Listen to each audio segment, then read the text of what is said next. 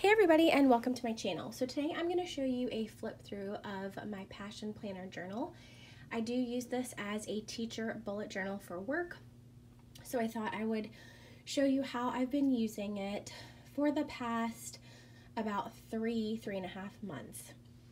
So this is a small Passion Planner size, which is the A5 size, and it does come with two ribbons, signature green ribbons, excuse me, it also has a band to keep it closed and then in the back there's also a pocket and I just have uh, stickers in there. So most of what you're gonna see is, like I said, my teacher bullet journal. I did have to add a lot of black sticky notes to cover up confidential information so you are to see that but I think that you can you'll still be able to see how I have been using it and hopefully this will give you guys some ideas if you wanted to try bullet journaling for work or for your just your personal planner. So, excuse me. This is the key that I use. I did try the official bullet journal method by Ryder Carroll back in 2017 and honestly the majority of it just did not work for me. So I've kind of adapted and just made things work. So this is the key that I have. I have a dot for a note, check for completed, an X for canceled, a partial arrow for migrated either like to the next week or the next month, a star for a reminder, and then also this triangle to let me know that that task has been started. So this sticker also came from Etsy. then I have a 2021 and 2022 planner, uh, not planner, calendars and these were free printables from SaturdayGift.com and she does have a bunch of different styles of these. She also has monthly calendar printables on her website and I will leave that linked down below. Next, I have an index because one thing that I do like about the Passion Planner journals is that the page the pages are always numbered in the bottom and that makes it really easy. I did go ahead and count out the grid spacing.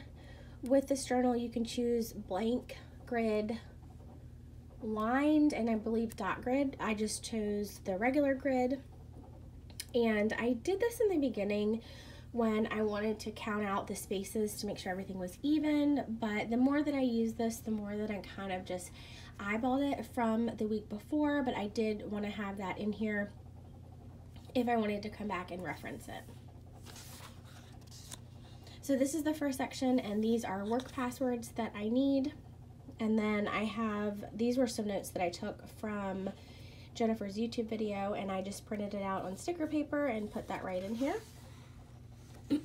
I also have the four quarters, so our four report cards and the due date. This was actually a weekly stencil um, that I picked up from Amazon and I will link that for you guys also if you're interested. I believe it comes with six different weekly layouts, but I thought it was perfect to use for tracking uh, report card dates.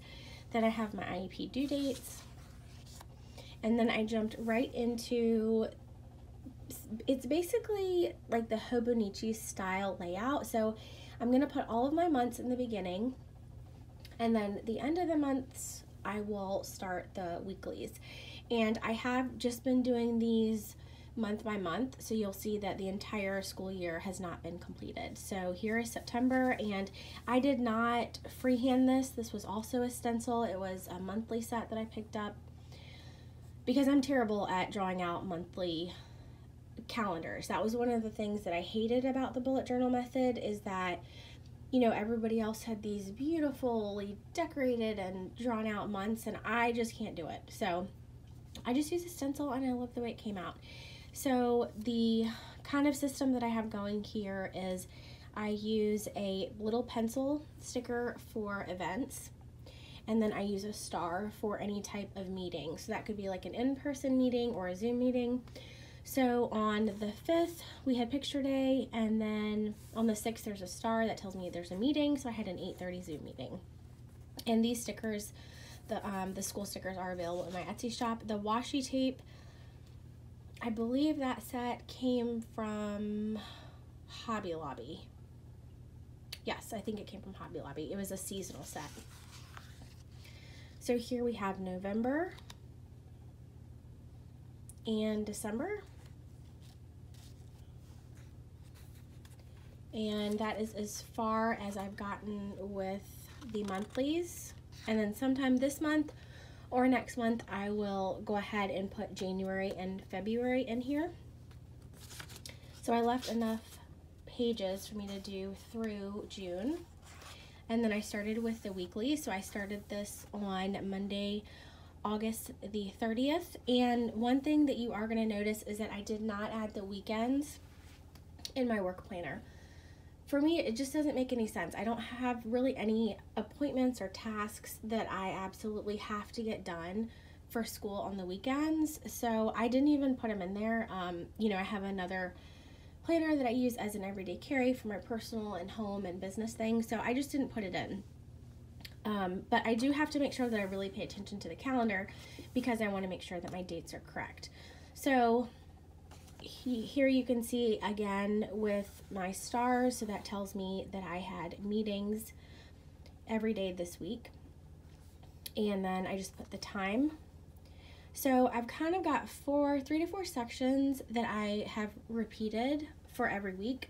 I have usually a note section, prep, to do, and email. I kind of vary, but it's pretty much identical from week to week. So this was the first week that I used this in August. And then we jumped right into September. Now, when I first got this, I did go ahead and prep my lines for, I think, the whole month of September. So here I was trying out just four grid spaces. And then I believe the following week, yes, I tried, let's see, one, two, three, four, five, six, which worked out well, but it kind of didn't leave me any space for my notes. So I just keep things really simple in here, straight into the point, a little bit of decoration, and really just a lot of work things. Most of the what looks like markers in here are just Papermate Flairs. The actual pen is usually a Sarasa 0.4 or 0.5.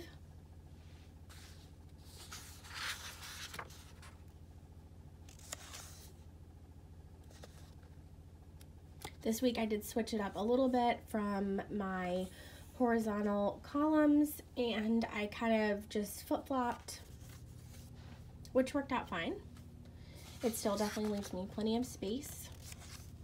This was the week I decided to try like the traditional Passion Planner layout that I have used previously, which is vertical columns. So I just used a marker and a pen and drew in basically five columns. Um, the only thing with this is that it didn't quite work out as well. Um, I think you can probably see that on this, for this week, there's just so much more white space. And I think it's because, you know, as, as we change and as things in our lives change, we kind of have to adapt. And the vertical, this vertical layout is just not working for me. Um, I really need the horizontal spaces to fully write out things that I need to get done. So I tried it. I'm glad I tried it, but I definitely, as you will see, just went right back to what was working, and that was my vertical spreads. I did start to track a little bit like what I had for lunch, the days that I bought lunch. Our um, school cafeteria manager has incredible teacher lunches that she makes we do pay for them, but they are just really good. So I usually will get teacher lunch on Monday and Wednesday. Mondays, because, you know, beginning of the week is always hectic, it's one less thing I have to think about.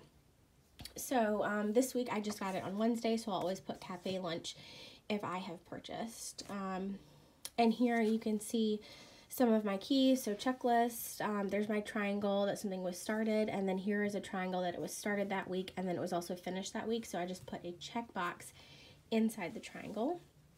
There's a half arrow letting me know that that needed to get migrated to the next week. So that was October and then this was the first week of November.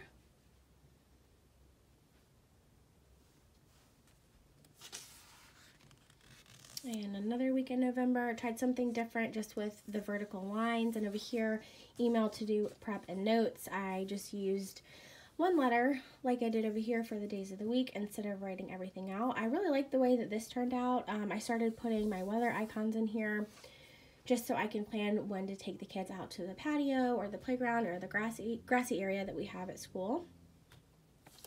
So this was last week. And then this is the upcoming week, and I tried something different again this week.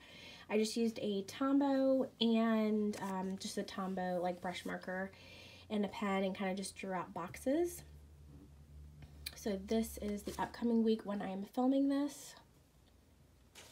And then I went ahead and did the week of Thanksgiving because we are only at school for two days that week. And then the last week of November for me is technically going to be December because December does start that week, so that week has been left blank. So that's the end. Right now I'm on page 51 and there are a total of 210 pages. So I definitely have enough space to get through all of this school year and I definitely have also space just to take notes or journal or really anything else that I need for work. So that is a flip through of my Passion Planner journal that I'm using as my teacher bullet journal. If you guys have any questions for me, let me know in the comments down below. Also, let us know how you use your work planner. Do you use a traditional planner, a bullet journal, or are you just using a digital planner? I know at for my job, some people really stick to like the Outlook calendars. Um, but let us know how you guys are doing things. Thank you so much for coming back and watching another video. If you enjoy planner or faith related content, please subscribe and I will talk to you in my next one.